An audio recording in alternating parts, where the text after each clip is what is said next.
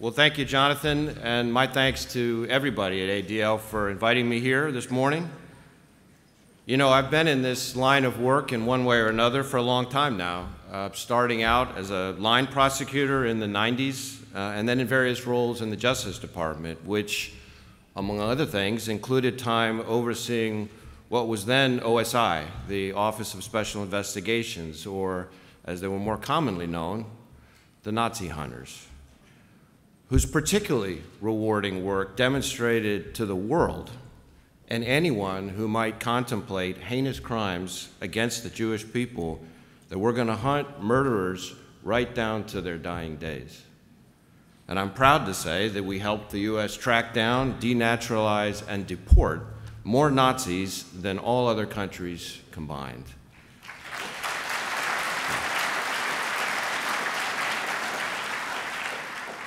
And much like the work we're doing together today, that effort both required and benefited from a close partnership with the Jewish community. The main reason I took this job was my belief in the FBI's core values and mission to protect the American people and uphold the Constitution. And I think our mission goals gel very well with yours to stop the defamation of the Jewish people and to secure justice and fair treatment to all. And that's one of the reasons we've been such great partners in fighting to stamp out the recent uptick in hate crimes in the U.S. Because both of our organizations understand what can happen when hate is allowed to fester and grow. At the Bureau, we confront that reality from the very moment we bring someone new on board. And I want to thank the ADL today for your support in conducting the training that all of our new special agents and intelligence analysts participate in at the U.S. Holocaust Memorial Museum. Because of your work, our new agents and analysts confront the reality of just how widespread anti Semitism and the willingness to turn hate into action really are. Your work reminds our young people what's at stake, why we all, particularly those of us in law enforcement, must aggressively counter anti Semitic violence everywhere it appears. Our FBI historian recently pulled the course evaluations written by the very first new agent class to visit the Holocaust Museum more than 20 years ago. And I found one of them particularly striking. That new agent, again, a little over 20 years ago, wrote The part that lingers in my memory is the photo of the police officer and the German SS officer standing side by side, and the police officer was failing to protect his own citizens. That observation gets to the heart of why standing up to hate is an active pursuit, and it applies now every bit as much as it did back then. It reflects what we stand for and the values we aspire to at the FBI to protect Americans from harm with unwavering resolve. Unfortunately, as Jonathan outlined, anti Semitism remains a pervasive and present fact. And we at the FBI see up close, day in and day out, the actions that hatred drives. Jewish people continue to face repeated violence and very real threats from all kinds of actors simply for being who they are. A full 63% of religious hate crimes are motivated by anti Semitism, targeting a group that makes up just 2.4% of our population. Foreign terrorist organizations like ISIS and others, have promoted anti Semitic violent extremism for decades, and they continue to target Jewish Americans in their attack plots. But we also confront the threat of people here, on our own soil, whose hateful views, often paraded online, boil over into acts of violence. And there are too many grim examples to choose from, but consider the members of the Jewish community in Poway, California, whose synagogue was the target of domestic terrorism in 2019. The gunman in that attack, in a vile act driven by hatred, murdered one member of the congregation and wounded three others, including a rabbi. Thanks to the investigative work of our San Diego field office, he's now serving a life sentence without parole, plus an additional 30 years for good measure.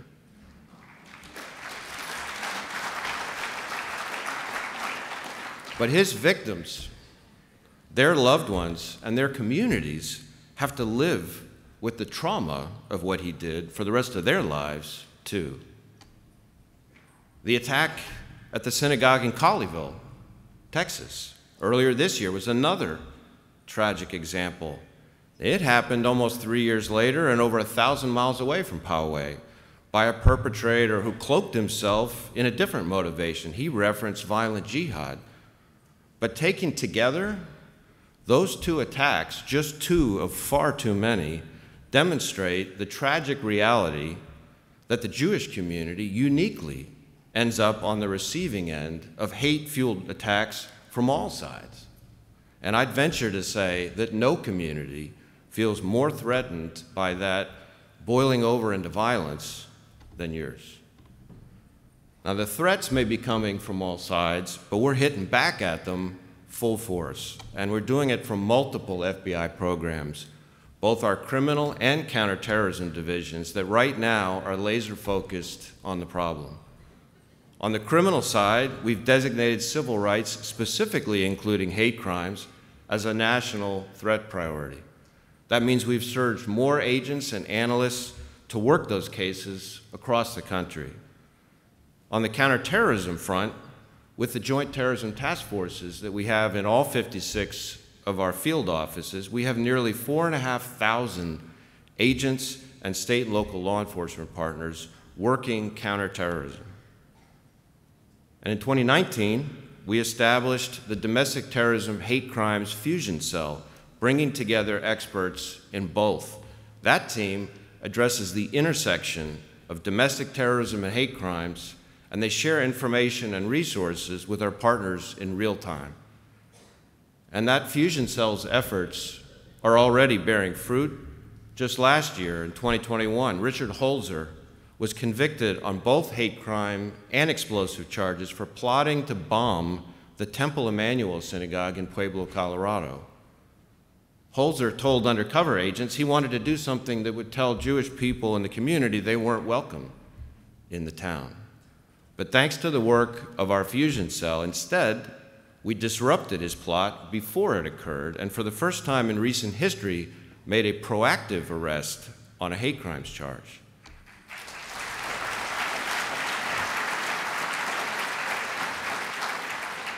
So, whether we're confronting the threat through a hate crime or counterterrorism lens or both, our focus is on preventing violent attacks. And within the bounds of the law, we're creative in how we do that.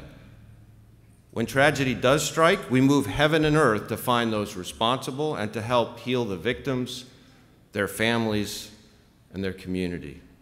Much like we did four years ago in October, after the horrific attack on the Tree of Life Synagogue in Pittsburgh. We raised our SWAT team, lab, explosive experts, crisis negotiators, and more to the scene. We also remained a fixture for those affected afterward in the way our victim services response team provided food and clothing, grief counseling, financial assistance, assistance and one-stop shopping for federal resources, but also, but also in our continued engagement with the Pittsburgh Jewish community. I know when I visited the Tree of Life scene and just saw the scene firsthand, I was just struck, not just by the evil done to individuals that day, but to the depth of the wound to the community. And it made me angry. It left me feeling the steel in our commitment to battle hate fueled violence everywhere it touches Jewish Americans. And it once again left me grateful for your help in bringing our new folks to the Holocaust Museum because there just can't be enough reminders of what we're up against. Those are some of the things, we in the FBI are doing to address the violence. But these threats increasingly require a whole of society approach. So we're also raising awareness through our national anti hate crimes campaign, which aims to educate witnesses and victims on how to identify and report hate crimes. And we've been engaging the public's help, too. That includes community leaders, mental health and social services professionals, faith communities, and civil rights and minority groups.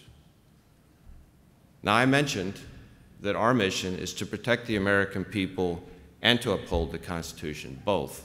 And both aspects are equally important. We can't stop people from thinking or saying hateful things, but there is a right way under our Constitution and within the rule of law for someone to express their beliefs, whatever they happen to be. And violence ain't it.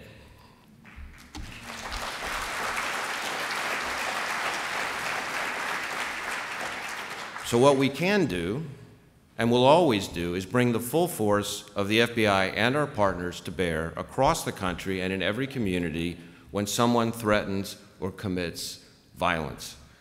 We don't let up, and like the Nazi hunters in OSI, our memory is long. We never forget.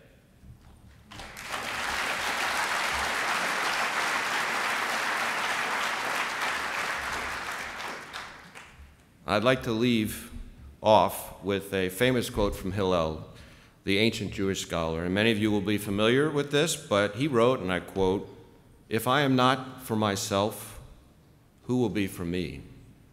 If I am only for myself, what am I? And if not now, when? That teaching goes hand in hand with that photo from the Holocaust Museum I mentioned earlier of the police officer standing next to the SS officer, failing to protect people from harm. Now, I love the FBI because it's a collection of men and women who answered Hillel's question for themselves and underlined their answer by offering their careers, even at the risk of their lives, in service of their purpose. We are for others, for those under threat who need protecting. From the violence and destruction of Kristallnacht in Germany 84 years ago this week to the threats and violence targeting Jewish communities here in the U.S. just across the river last week, we at the FBI recognize that the threat of violent extremism is real and it's urgent. And we devote ourselves every day to protecting the Jewish community and all American people from these heinous acts.